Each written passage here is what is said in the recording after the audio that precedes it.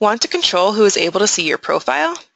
Update your privacy settings by navigating to your profile and clicking Privacy Settings under My Account.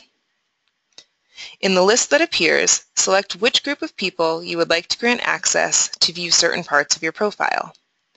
Note the different levels of access on the drop-down menu.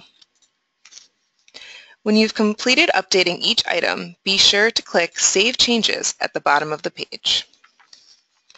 Next, update which emails you want to receive by clicking Email Preferences under Privacy Settings. Change your preferences using the slider to the right of each option. Then, update your community notifications. By choosing real time, you'll receive notifications immediately after anyone posts a discussion to the community. If you choose Daily Digest, a digest that lists the previous day's activities will arrive in your inbox. No email means that you will have to log into My TESOL to see any discussions. Be sure to update your settings for each community you're a part of so you don't miss anything. Lastly, update your discussion signature.